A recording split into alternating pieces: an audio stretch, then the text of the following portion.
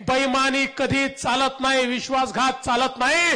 बैमानांचं सरकार नेहमी खालीच आलेलं आपण बघितलं आणि हे सरकार देखील त्यापेक्षा जास्त चालणार नाही.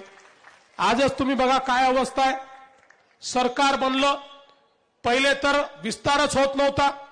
एक महिन्याने विस्तार झाला. विस्तार झाल्यानंतर हे देखील कधीच झालं नाही. महाराष्ट्राच्या इतिहासात महिनाभर कोण मंत्री आहे हेच माहिती नाही. मग मंत्री झाले. तर आता मंत्र्यांचं खाते वाटप.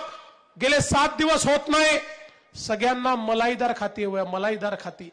कोणी कृषी विभाग वगैरे घ्यायला तयार नाही त्याकरता भांडण नाही आहे. मलाई कशात आहे? मलाईदार खाती द्या पीडब्ल्यूडी द्या हे द्या ते द्या. मलाईदार खात्यांकरता हे जनतेला विसरले आणि या ठिकाणी भांडून राहिले. या ठिकाणी अजूनही त्यांचं खाते वाटप झालं नाही. आणि खाते वाटप व्हायच्या आधीच मला समजलं आता त्यांच्या एका मंत्र्यांनी राजीनामा देखील देऊन टाकला.